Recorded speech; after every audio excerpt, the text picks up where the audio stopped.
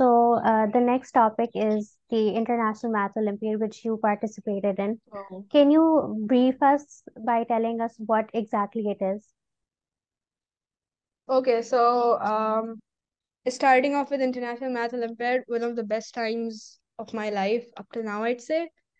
Um, well, okay, so to to people who don't know, it's basically an Olympiad which is held internationally, just as you know, uh, uh, the sports Olympiads, you know, they they happen every after every four years or six years, I guess. But these Olympiads, science Olympiad, happen every year in a different country, just as you know the cricket World Cup or something like that. They they happen every year in a different country. Each country sends their team to represent that country and each team is, has around six people and they they they go to the host country. They stay there for around i think 10 days 10 to 11 days. Three days they they appear in the exam. It's a it's a it's an exam. It's like uh, but it's very fun. It's like not you know uh, the math the kind of math not the kind of math we study in our oa levels. It's you know critical thinking problem solving math where you're presented with real world scenarios and you have to decode it according to your ma- uh, information your according to your um, knowledge about math so it's not like very high level it, you're not It's even expected to know calculus Exactly. Yeah. So it's it's mostly based on critical thinking.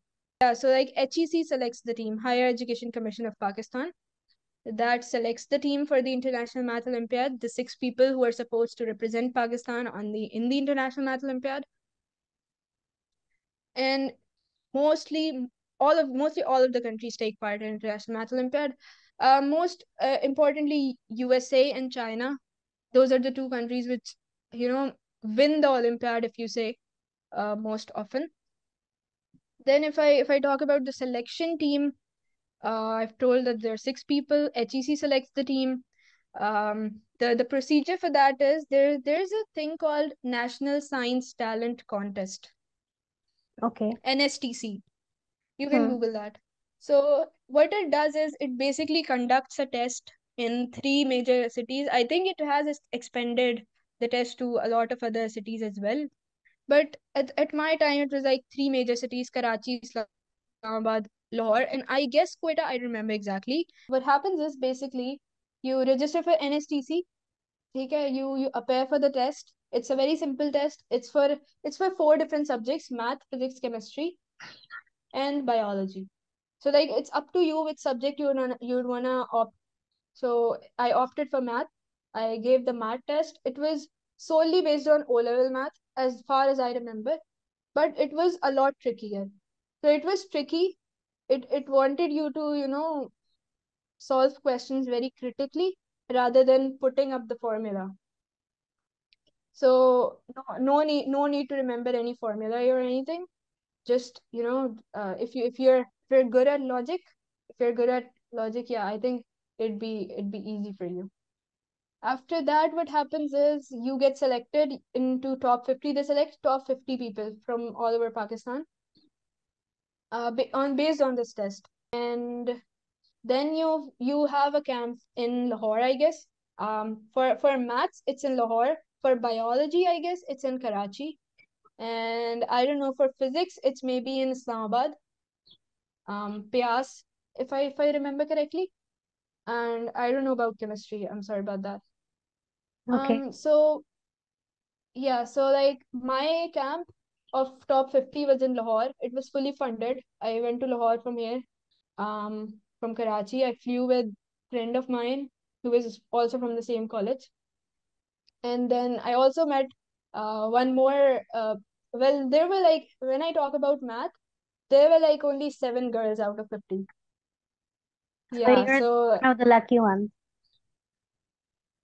yeah, so like, I mean, yeah, more girls need to choose math. Come on, guys. Experience. I, I got to learn a lot of things. There were classes on four major things, which was, I think, geometry. One thing I, I, I really liked geometry was one of my best sub subjects when I talk about math. Yeah, so the camp is basically training camp.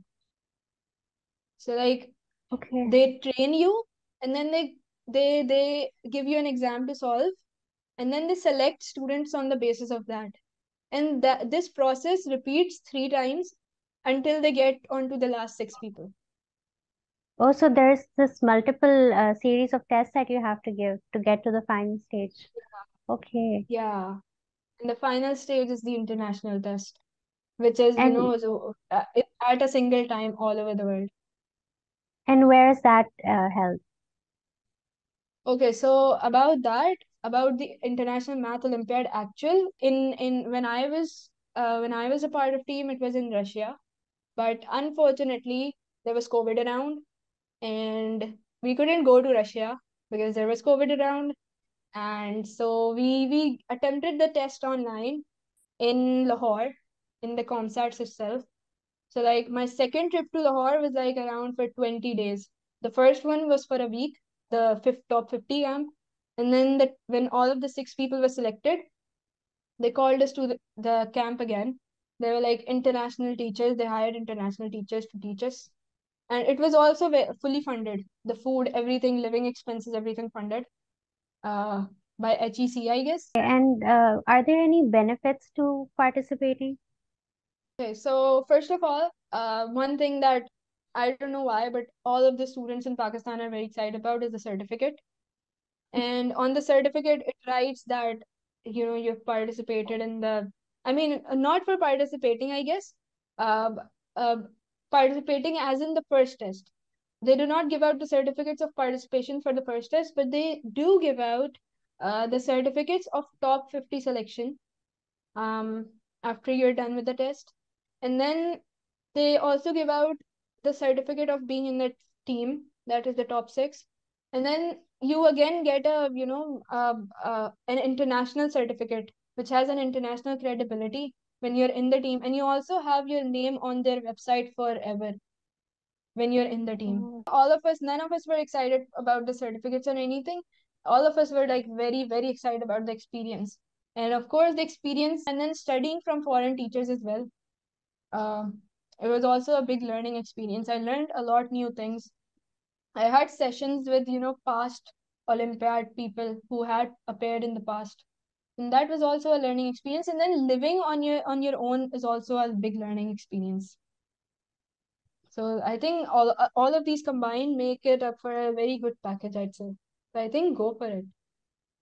And coming, uh, talking about the final examination, the actual competition, uh, is the training that they provide sufficient enough for you to uh, get familiar with the questions that they're going to ask, or do you have to put in some effort yourself also to explore different avenues of studying? Okay, so um basically the training that the people provide is sufficient according to them. But you know, you know what kind of intellectual level you have. And since you you are at that particular uh, stage of representing Pakistan, I think if you do not have self motivation, you you wouldn't have been there at the first place. So since you you are there, it means you have some sort of motivation coming from inside of you, and you have to use it. Meaning, don't depend on what they teach. They teach very well, but don't depend on what they teach. Take initiatives yourself and self study. Self study is gonna lead you to higher places. I think All the biggest key takeaway that I took from you throughout uh, both the conversations is that you have to be motivated and willing to explore things yourself because only through that can you uh, will you build up uh, the muscle to get to the goal that you want because people can only do so much if you if it doesn't come from within then it's impossible Yeah. Okay, thank you everyone for watching. I hope everyone got to learn something new from Narmeen today. She mentioned some wonderful points, and we're going to see you all in our next interview. Allah Hafiz.